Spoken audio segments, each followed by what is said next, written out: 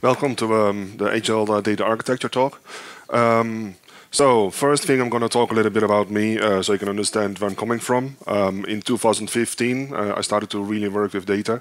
I've done uh, a year of Kaggle competitions and uh, at the end of the year I managed to become a Kaggle master actually, also competing together with some of the top Kagglers. That was a really fun experience. Um, in 2016, I joined a company in the Netherlands called Coolblue, where I started to work on the data warehouse and also the data engineering part. Um, uh, I also looked at uh, a project called uh, Apache Airflow at the time, and since 2015, I'm maintaining a site called uh, ETL Best Practices for Airflow. And from that experience, I really started to look uh, at data warehousing in a slightly different perspective because you have the old BI, but with data engineering, you have also a newer way to make uh, data warehouses. And um, I lived in Brazil for a while. That's you know that's what the hat uh, is about. Um, and when I was on the beach, I started to also think about the software complexity it, uh, itself, where you know what makes software really complex, and uh, how can we find ways to make it uh, less complex and make it more manageable. So the first question is uh, definition of an agile data warehouse. Uh, what really constitutes an agile data warehouse? Um, when does it become agile?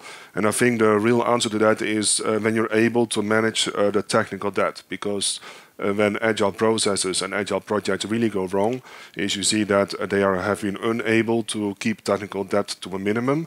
And specifically for data warehouses, that is related to a number of key concepts that I'm going to highlight today. So first, of the things that you see in data warehouses is that there is um, a very direct transformation from your uh, source systems. Uh, here we see a, simple OLTP system that, which can be transaction based, which gets uh, transformed rather immediately to facts and dimensions. And uh, there's a couple of things that are introduced from that because of the the way how the source system is set up can actually have an, an effect, has a direct effect on the way how your data warehouse is structured. So one of the other things about the lock-in that you have is when you look at uh, styles in data warehouses, uh, methodologies like Kimball, is that you need to make uh, design choices very upfront. So when you start a project, you need to de uh, decide if this is a slowly changing dimension type 1 or type 2. And then later on, when some of those um, uh, the design decisions need to change because of business changes. Uh, it is very difficult. Uh, you have to do make a lot of effort in order to revert those design choices later on.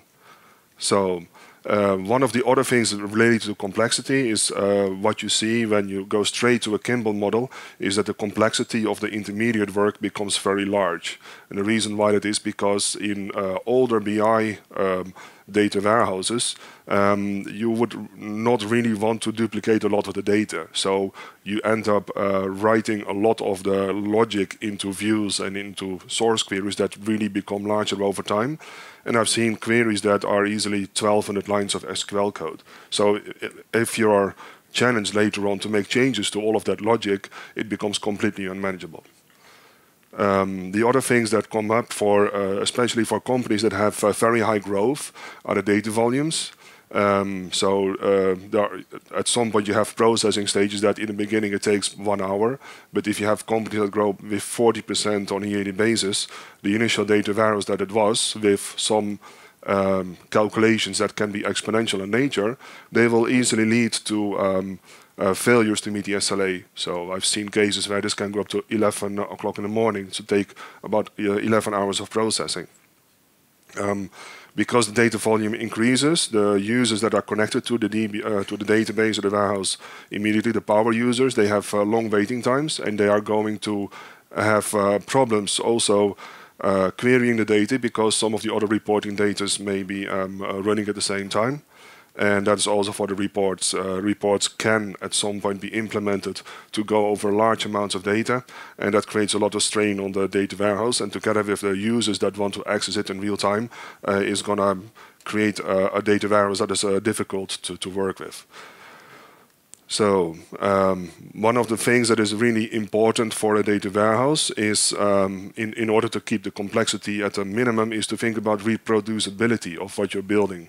Um, um, this is sort of related to the immutability that you have as a data warehouse. Uh, a lot of Kimball data warehouses are in principle um, um, um, immutable, but you will see that a number of operations that you uh, operate on that data uh, will eventually become, uh, will treat it as a mutable data warehouse.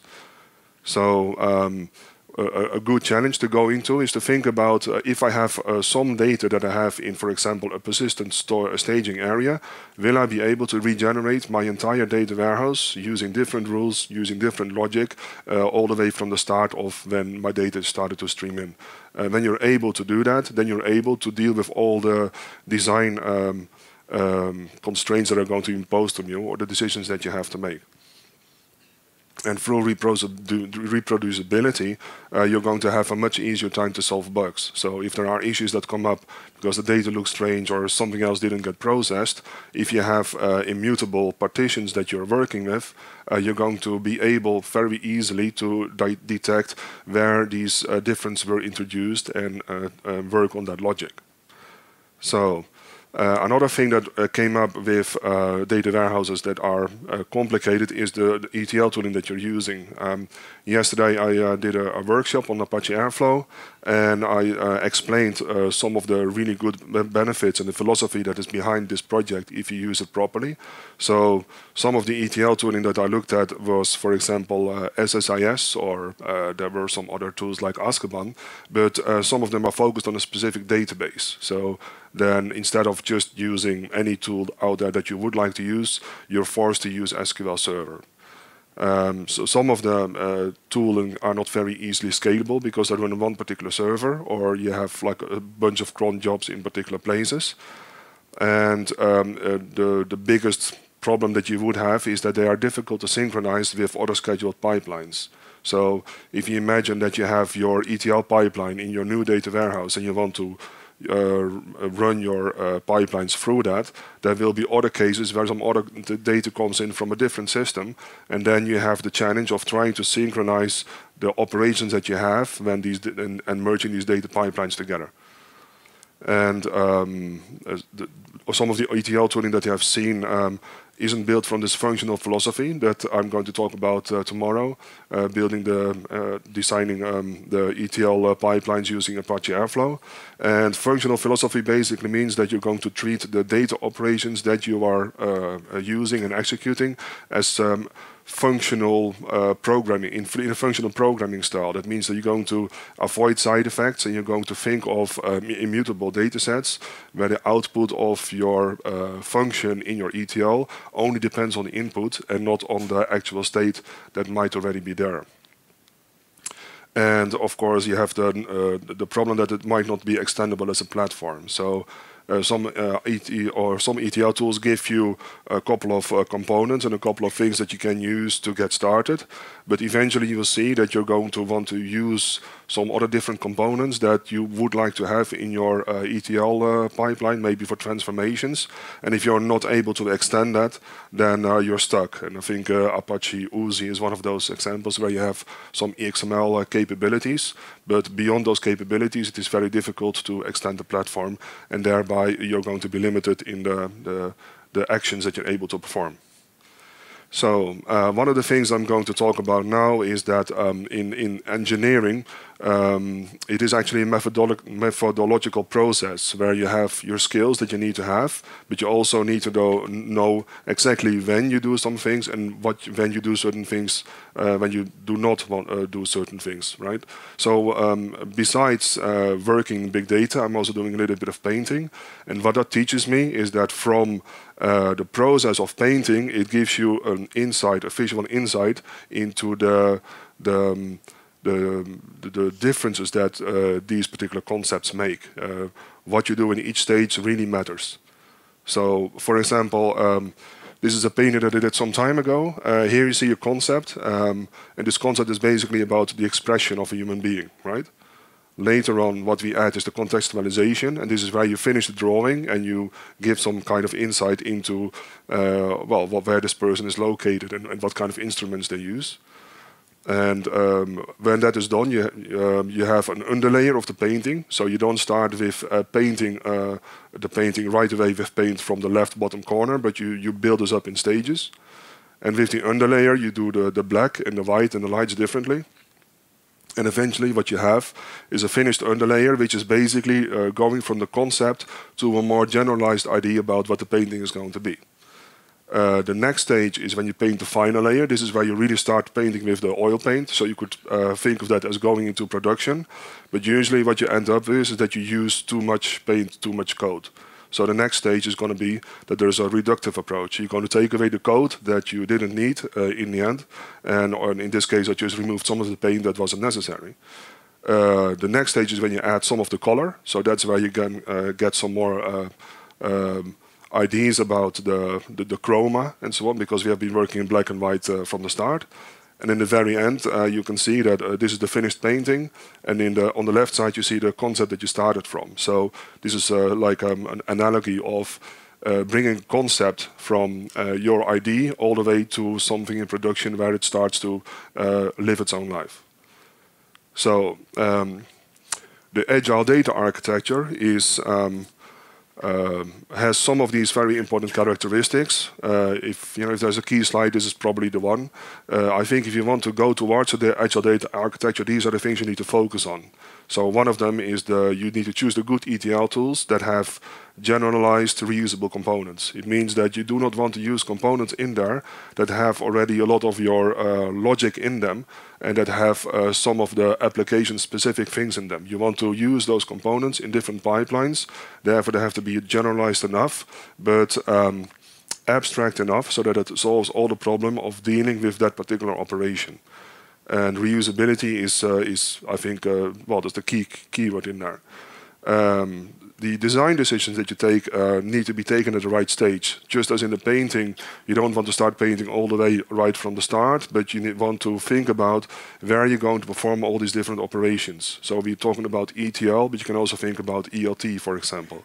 And um, it is very important not to do that too early and just uh, try to delay that, uh, defer those further backwards because I see, especially in data warehousing, that the more you try to push those design decisions backwards, it gives you more flexibility in the future.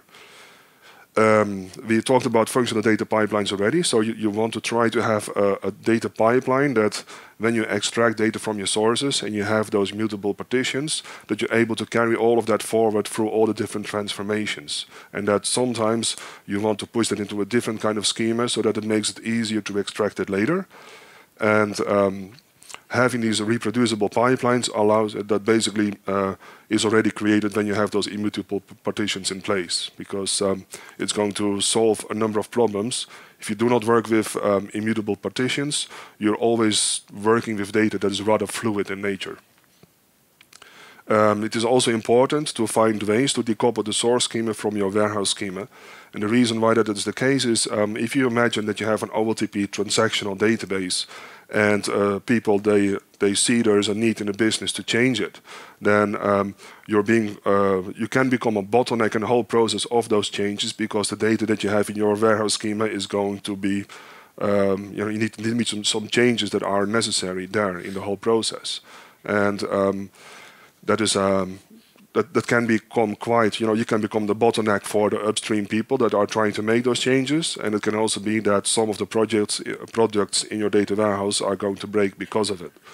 So uh, an interesting thing that came uh, along with big data is that um, we used to think about having multiple copies of the same data in uh, an older school uh, BI database as a bad practice because you consume a lot of storage.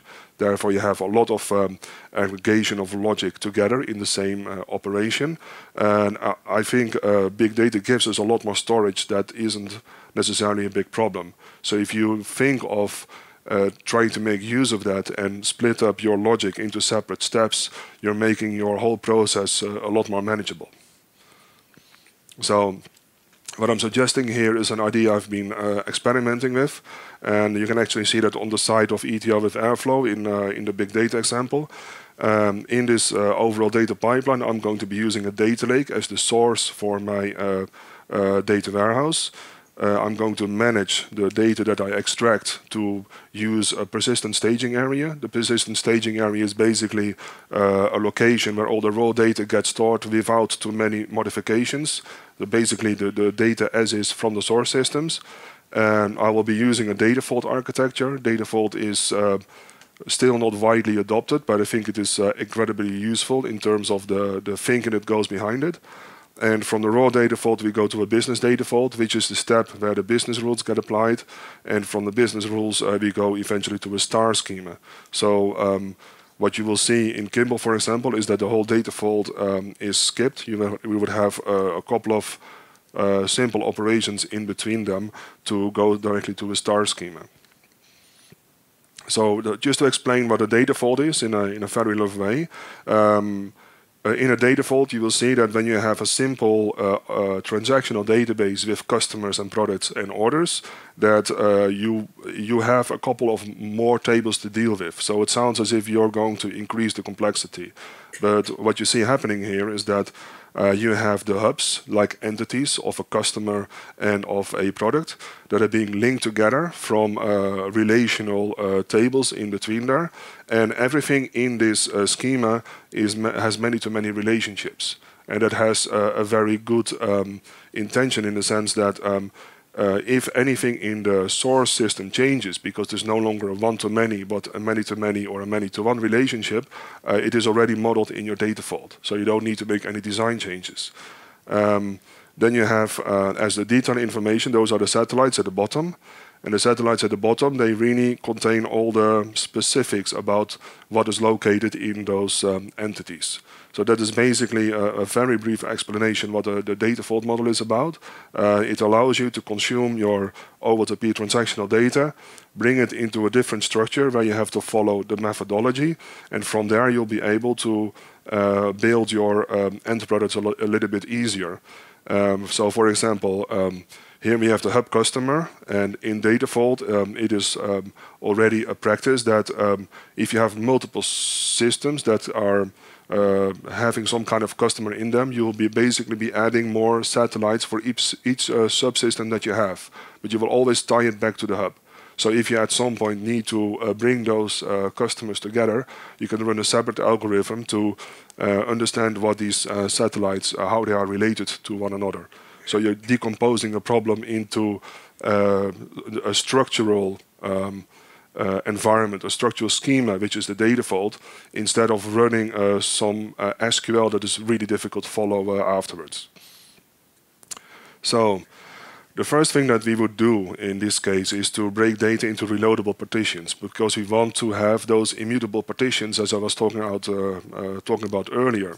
So if you imagine that you have a transactional database, like a cloud SQL database, and you extract the artifacts from that, what I mean with extracting artifacts is that instead of extracting tables separately, you extract the data from that as if they are the artifacts that you would have in a, a normal, actual live um, environment. So, for example, um, in data warehousing, you're just talking about the business processes that underlie the transactional process. And uh, when you have an invoice, you have this paper that you generate, and on that paper you have the customer, you have the the, the invoice lines, you have some more invoice data.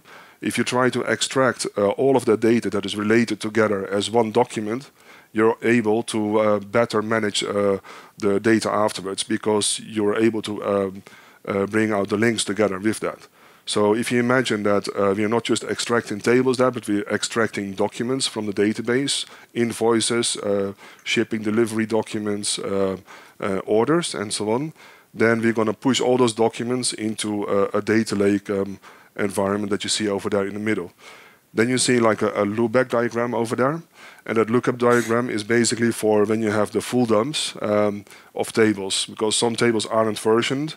And what that process does is to identify the changes that have really occurred in those tables, and then it will uh, add some uh, data vault specific attributes, the, the load DTM and the record source, and it will only push the changes back into the data lake. Uh, for the other um, route, when you split the entities into the data vault model, you're going to read from that data lake environment, uh, you're going to read all those documents, and then in the documents, you want to split out the customers and the orders and uh, all the other information back into the, the way how your data vault model is organized. Sometimes you will see situations that in OLTP there were uh, choices that were made to model uh, tables in a specific way for performance reasons. Uh, but when you think about the the way how uh, what an order looks like, it is more of a logical document. And then you have some other transformation steps that are necessary to go back from your artifact document that you created into a more uh, data warehouse logical uh, way of, of representing that. So um, what the output of all of this is basically the PSA. The PSA is the persistent storage area, and that's where for every day all the changes go for the data warehouse. Some of the data that you extract uh, might already be applicable to PSA, uh, so you can extract it directly, uh, but most of the data will probably go through that loop to um, uh, extract per data vault table uh, what the necessary um, uh, inputs are. So here we see then uh, what that looks like if you have a, a, more accurate representation of the data lake and this process. Um, you would have a, a, data lake with uh, some uh, names to indicate what uh, what the location is and what the, the subsystems are, and um, and also the, the, customer and the product tables. Uh, all of these uh, Avro documents I chose for the Avro format um, they're going eventually to be loaded into the data vault, uh, the raw data vault itself. And uh, when you work with these partitions, you can see with the blue arrows and the red arrows that they're all sort of bound together. So you need to think about uh, that this is a process where uh, when you have multiple input sources, you're reading from each partition separately. So that means that you can run the, all of this process completely in parallel instead of that you, when you run uh, with a, a, a, whole bunch of data as input, that you need to wait for that full run to complete before, before you can run another uh, run for it, right? So by having it separated into partition, you're making your ETL process also parallelizable. So where we are right now is the data lake. Uh, we have loaded our extracts into the P PSA. And what we're going to do now is going to load uh, what is in the PSA into the data vault. And that is basically that, that works like this. We have our uh, documents, and that can be um, CSV or it can be JSON, whatever uh, uh, the, the, the system that you implement data vault in, uh, uh, on accepts. I have chosen for Hive in my example because I think that's a, a useful as a useful SQL interface, but it can also work on BigQuery just as easily. Um, the staging uh, table that I dynamically create has a tag on it at the end of it is the date. So you keep also there, you keep all the data together. And then from that staging database in uh, another uh, operation, you're loading it from the staging database into your um, final uh, raw data vault tables. So here you have the, the hub tables and you have the satellite tables. There are some instructions how you do that for data vault as a methodology in the data vault book. And then you do that for all those entities. So you have your uh, data vault model, which can be a large number of tables, and then you run all those pipelines to get the data loaded uh, in there. And um, in theory, what you can do, huh? we, we, we talked about Airflow yesterday about uh, intervals that you would normally probably pick uh, uh, a date or a day for this, but you can run this at 15 minute intervals uh, just as well. So if you have data that gets refreshed more, you choose a different interval and you load the data in uh, at a more uh, faster rate. And still all of all those operations, they can run together in parallel. What we have also established with these operations is that our source schema, how it was represented, is completely decoupled from uh, our target schemas. So uh, if we have changes in our uh, source system, we will be able to, to keep the customer table, and if there are significant changes, we can decide to create another satellite customer table that is going to be used for data that is after these design changes in the source system. So that means that um, instead of having a specific staging table where you have to apply the changes as well on a particular date uh, when the source system changes, you can just um, keep running and, and do work ahead to, uh, to already get ready for when those systems are going to be in place uh, at the source system. So what we have now is the raw data vault and in the overall architecture. We have loaded the data into there. And what the next steps that we're going to do is the most um, well interesting probably, because uh, from the raw data vault we are now supposed to be doing all the calculations and do all the the, the operations on analytics where we are going to uh, generate uh, all the value. And in uh, the business vault, you would have um, a couple of uh, tables that are useful for that. One of them is the PIT table. Uh, the PIT table is a point-in-time table that helps you to align the the the dates when something was valid on the so on the on the source together. I'll show you how that works uh, later. And there are bridge tables that help you to create like uh, accesses on where you join the table uh, the data together. For example, um, if you have a order line that gets created, then it is useful from a um, margin perspective to understand what the warehouse costs were for that particular order line. And the only way how you can uh, deal with that is when you make a connection from the order itself, when it was sold on the invoice, when it came into the warehouse on the delivery, on which order it was created and how that uh, was invoiced from the supplier. So that means that you make a rather large um, combination of, a, of an, an access table where you're going to have links from that particular order line to all these different um, documents and artifacts that were being created. So when you use a bridge table, you'll be able to work with that, and then you can link to all these different uh, um, satellite tables to extract more information to calculate your margins, for example. So, uh, well, the other thing that is the customer deduplication, and that is more of a data quality uh, incentive. Um, when you have all the data available, you can run sub-processes to be able to identify which customers are the same, so that you can use that in the future as well as a way to um, um, to better allocate particular costs or, or uh, other things to the to the customer. So here's an example of the the PIT table. Uh, the PIT table uh, is basically uh, a table that is used to understand when you have a question for a particular day, uh, which record in the source table was actually uh, active.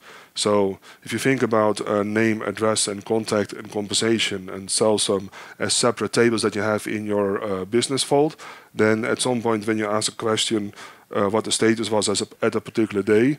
You don't want to create queries where you have that complication of selecting the right record from your source tables.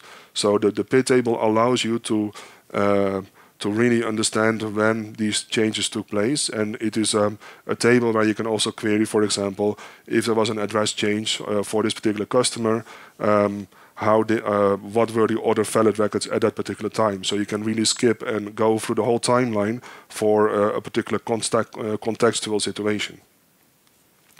And this is an example of the bridge table, a very uh, easy one. Um, here's where you, you, need to imagine that this can be like six different tables uh, all linked together. And this is where you just create a a structure in which you don't have to make all those different joins together. So instead of joining all those tables and scanning through all of them, you create a, sort of like an anchor table where you're already going to be able to pinpoint all these different uh, records uh, right from the start. So that will reduce uh, a lot of the I/O uh, processing times. So in the overall architecture is uh, we have now uh, looked at the business data vault. that is where you create all the value, where all the, the stuff in the data warehouse comes together. And then we have the star schema, which is basically uh, generated out of the business vault directly. So when we have uh, the desirable base, like uh, uh, for all the, the business vault tables that we have created, we will now be able to um, extract the information, all the metrics that we have calculated from the business vault, and put it into a star schema for uh, visualization. So the overall architecture is um, is uh, now complete. And when we then uh, look at the uh, other things, this is an important thing as well. I was talking about these concepts with some colleagues, and what we determined as well is that um, you have this concept of data lanes. And data lanes are basically um, related to the source systems that you are going to ingest data from. So if you look at, for example, on the left, you have the role and salary uh, contract on this side, and you have some uh, hour time system that, that keeps track of the working hours, and you have a planning system that is supposed to match the working hours and, and to optimize for that planning, then um, the sooner you're going to merge the data together, the more complex it becomes in the future to actually make changes to that. So I've seen, especially in this particular area, uh, problems because on the HR uh, database, you would typically have uh, monthly data, and on the hours you would have uh, hour data. And when you try to match that directly, um, the grain is completely different, and there's a lot of overlap in different records that you would have uh, in between. So what you need to try to do is to um, uh, keep these lanes of the source systems that you're ingesting uh, separate, uh, you know, manipulate the data, transform the data as you need to do that, uh, create some intermediate metrics for that, and then only at the very last, when you have the grains matched in your own lane, then you merge all of that together. So that you get uh, in the combination and the visualization, you only need to, uh, to do a very direct link or a join between them so that you get your information out of that. That is the most useful way to do that. And as a final thing, there's um, a slide which uh, discusses a possible architecture. This is a more technical slide. Uh, we have our sources, uh, which can be from storage or database. We're going to push that into a data lake. We use the process to create our files in our persistent staging area, which are the immutable partitions uh, where data is kept. Uh, using beam processes or airflow processes, we're going to push the data into the data vault, in the raw data vault first. Using Airflow, we're then going to process data on the raw data vault, and we're going to bring that into the business vault. From the business vault, when we have calculated all the metrics and did customer deduplication and other uh, analytical processes, um, we are going to then um, push the data into a couple of data marts. That could be, for example, also on BigQuery. Um, and other times there are needs that you have more interactive data. So if you have Tableau, for example, there are some of those dashboards where you want to do uh, allow users to click and um, and work with the data interactively, and you cannot really do that easily with BigQuery. But because you already have a base where your uh, data is kept in BigQuery or in Hive or some other system, you're easily going to be able to uh, extract data from that and push that into uh, an interactive SQL database. And then, of course, at the very end, you have all the visualization tools and the reports and the, and the user interfaces. So thank you very much. That was my presentation.